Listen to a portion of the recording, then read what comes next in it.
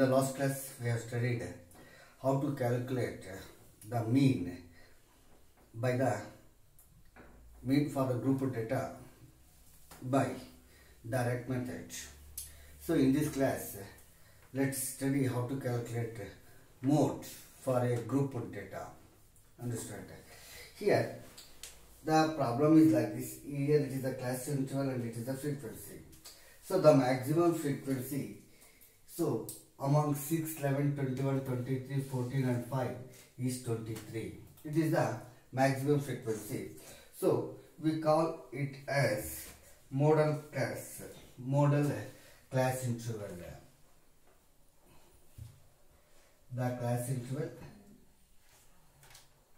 The class interval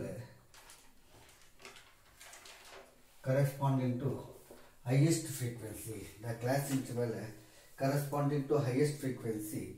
We call it as modal class interval. The frequency of it is 23 and F1 it is F0. It is F0. It, it means the frequency preceding the modal class interval and it is F1 the frequency of the modal class interval and it is uh, that 14 is uh, F2 it is uh, the succeeding frequency of the modal class interval. And the lower limit of the modal class level is 35 it means L is equal to 35 that is lower limit of the modal class interval is 35 then F1 F0 F0 is nothing but the frequency preceding to the modal class interval that is 21 and the frequency of the modal class interval we call it as F1 and it is 23 and the succeeding the preceding and the succeeding frequency of the modal class interval is 14 that is F2 that is equal to 14 and H it is the size of the class interval as know the 5 to 15 10 25 minus 15 is 10 35 minus 25 is 10 45 minus 35 is 10 so it means the size of the class interval here in for this group data is 10 now So once again I will explain how to analyze the problem. Here the maximum frequency of this group data is 23 and the class interval corresponding to it is 35 and 45 so we call it as modal class modal class. And the frequency preceding to the modal class interval is 21 and we call it as F0. We do not it as F0 and F1 it is nothing but the frequency of the modal class. And F2 is the frequency succeeding the modal class interval. And the formula is this. That is mode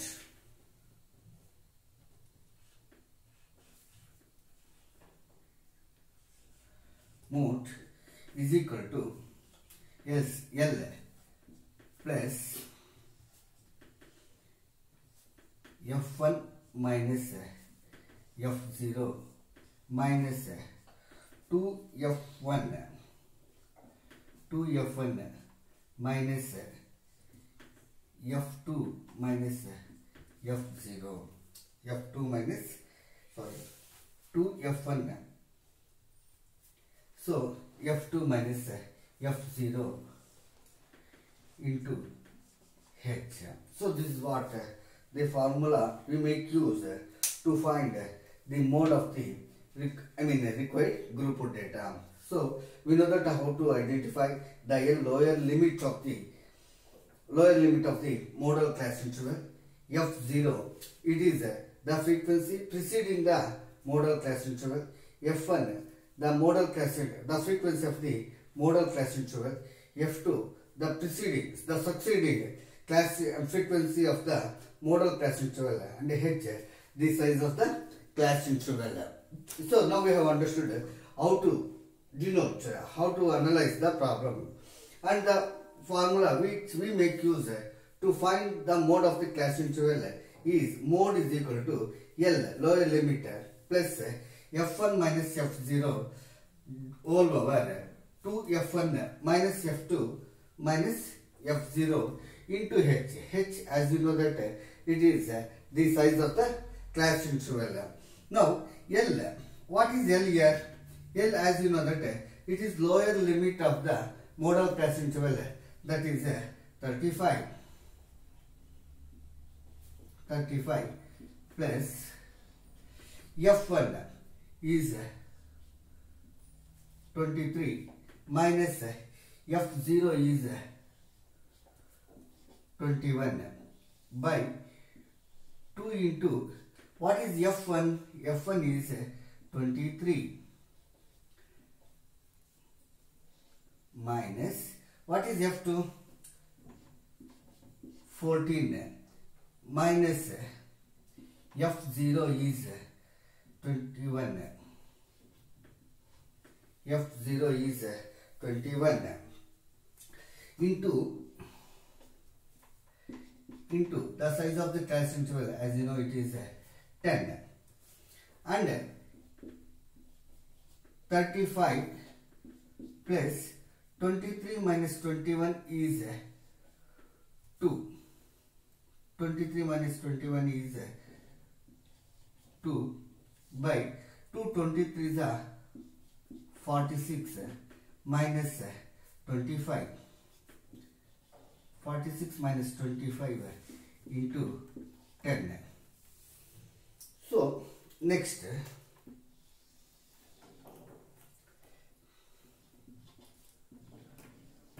mode that is equal to 35 plus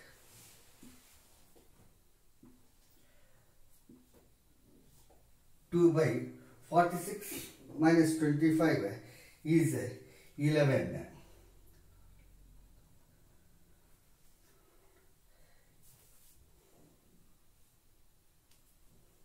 Forty-six minus it is thirty-five.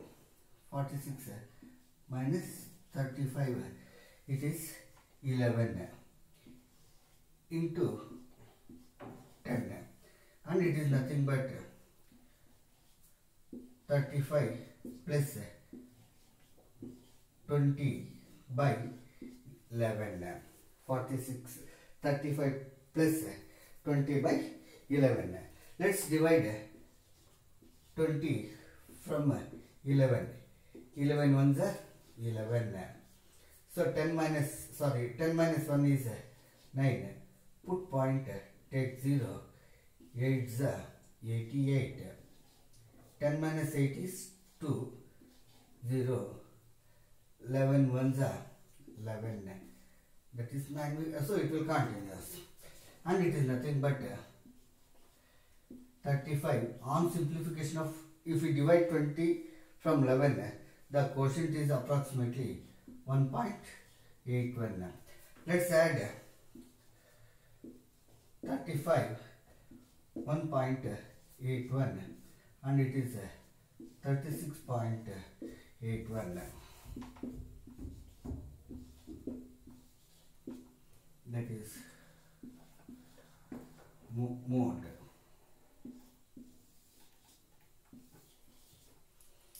So students it is a very easy method. Very easily we can find calculate the mode of the grouped data. I will explain it once again here the class interval they had given and also frequency.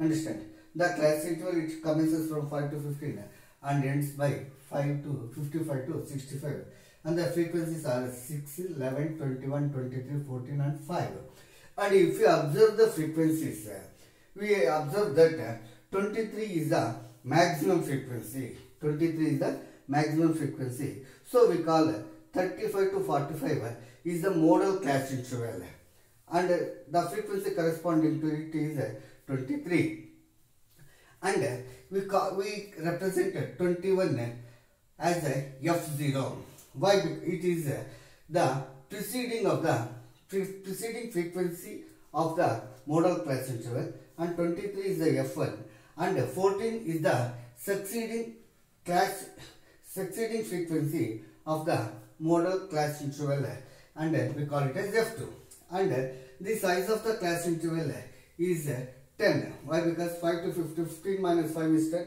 25 minus 15 is 10 35 minus 25 is 10 it will go like this and h uh, it shows it represents the size of the class interval 10 size of the class interval that is 10 and the formula which we make use to find the mode is L plus L as you know that it is the lower limit of the modal class interval. And the formula is L plus F1 minus F0 by 2F1 minus F2 minus F0 into H. That is 35 plus as you know F1 is 23 and uh, minus F0 is 21 and 2F1 2 into 23 minus 14 minus 21 into 10 H as you know that it is size of the class interval. It is nothing but 35 plus 23 minus 21 is 2 then 2 2 23 is 46 minus 40 minus 21 is 35 35 so 35 plus 2 by 46 minus 35 is 11 so into 10 2 tens are 20 by 11 when 20 is divided by 11 the quotient is uh, 1.81 uh, 1.81 uh, 35 plus 1.81 the sum of these two that gives 36.81 that is what the mode of the given group data. So that's how we can calculate any problem any group data by this method so if you like this uh, like this video and share this video and uh, comment below if you have any doubt and subscribe the channel. Thank you